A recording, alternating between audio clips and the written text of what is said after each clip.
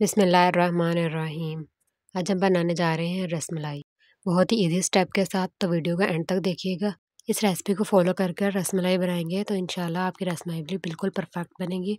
बिल्कुल टूटेगी नहीं और घुलेगी नहीं। तो चलिए इस रेसिपी को बनाना स्टार्ट करते हैं। इस रेसिपी को बनाने के लिए हम मिल्क पाउडर का इस्तेमाल करेंगे और एक कप मिल्क पाउडर से हम बहुत सारी रसमलाई बनाकर तैयार करेंगे। तो सबसे पहले आपने एक बॉल में एक कप मिल्क पाउडर शामिल कर देना है और वन टेबल स्पून इसमें मैदा ऐड कर देना है। और हाफ़ टेबल स्पून इसमें आपने बेकिंग पाउडर ऐड करना है। इसे बहुत अच्छे से वो फूलेगी। इसको अच्छे तरीके से आपने मिक्स कर देना है।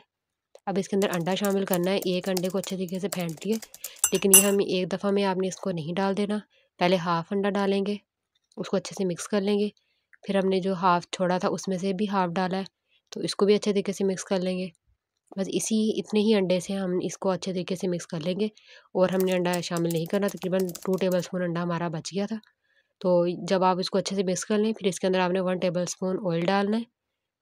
तो इससे बहुत नीट सी हमारी रसमलाई बनकर तैयार होगी। तो इसको इस तरीके से अच्छे से आप गूँध लें, इसका पेड़ा सा बना लें। अब आपने हाथों को ग्रीस करना है और छोटा सा पेड़ा लेके इसके, उसको रसमलाई की शेप दे देनी है। देखिए इस तरह से बॉल बना के इसको प्रेस कर देना है आपने। ये देखिए बिल्कुल क्रैक फ्री हमारी रसमलाई बनकर तैयार हुई है। सेम इसी तरीके से हमने इसको बना लेना है।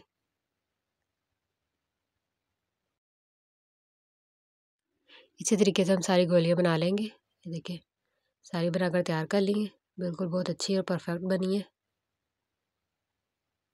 ये देखिए बहुत अच्छी सी हमारी बनकर तैयार हो गई हैं। अब हमने एक कढ़ाई में एक लीटर दूध लेना है। एक लीटर दूध शामिल कर दिया। अब इसके अंदर हम चीनी ऐड करेंगे। सौ ग्राम यहाँ पे मैंने चीनी शामिल की थी। अब अपने टेस्ट के अकॉर्डिंग भी इसमें शामिल कर सकते हैं। दो हरी इलायची इसमें डाल दिए अच्छे से इसको मिक्स करेंगे और इसको बॉयल आने देंगे। बस आपने इसको हल्का हल्का थोड़ी थोड़ी देर के बाद इसको चम्मच को चलाते रहना है और साइड से जो दूध लगा होगा उसको भी इसके अंदर शामिल करते जाना है। इससे दूध बहुत अच्छा और गाढ़ा बनकर तैयार होगा। ये हमारे पास एक लीटर दूध था तो जब ये सेवन फिफ्टी रह जाए, तब इसके अंदर आपने ये सारी गोलियाँ शामिल कर देनी है। बस आपने इसको हिलाना नहीं है, इसको मिक्स नहीं करना। ये देखिए, खुद ही इसके ऊपर आ जाएँगी ये। तो आपने इसको कवर करके दस मिनट के लिए लो फ्लेम के ऊपर इसको पकने देना है। ये देखिए, दस मिनट हो गए थे और ये कितनी अच्छी सी फूल गई हैं।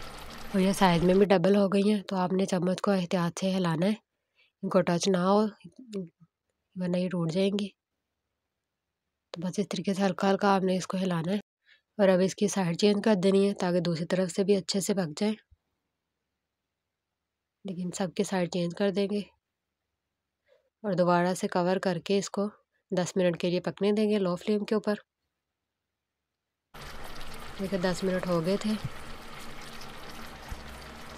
बहुत अच्छे से ये पक चुकी हैं। मज़ीद ये फूल गई हैं, बड़ी हो गई हैं। तो बस एहतियात से चम्मच को चलाना है। दोबारा से कवर करके हम इसको पकने देंगे पाँच मिनट के लिए। हमारी रसमलाई रेडी है। बस आप, अब आप चाहें तो इसके अंदर कलर ऐड कर दें, ताकि थोड़ा सा अच्छा सा कलर आए इसमें। अगर आप नहीं डालना चाहते तो आप स्किप कर सकते हैं, बस इसको हल्का सा हम हिला देंगे। दो मिनट के लिए मज़ीद पकाएँगे और ये देखिए हमारी रसमलाई बनकर तैयार है। बिल्कुल परफेक्ट बनी है। अब हम इसको डिश आउट कर लेंगे। और इसको ठंडा करके सर्व करेंगे। बहुत ही मज़ेदार और जमी से रसमलाई बनकर तैयार हुई है। इसको ऊपर से बादाम के साथ हमने गार्निश कर दिया है। तो परफेक्ट रेसिपी हमारी बनकर तैयार हुई है।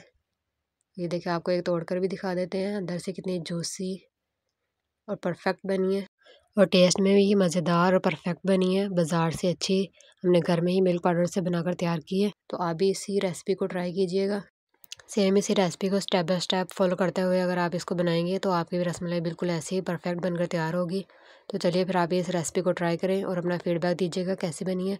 लाइक और शेयर करना बिल्कुल नहीं भूलना। चैनल को सब्सक्राइब कर लें ताकि आने वाली वीडियोज़ का नोटिफिकेशन मिलता रहे। मिलते हैं एक नई रेसिपी के साथ। अल्लाह हाफिज़।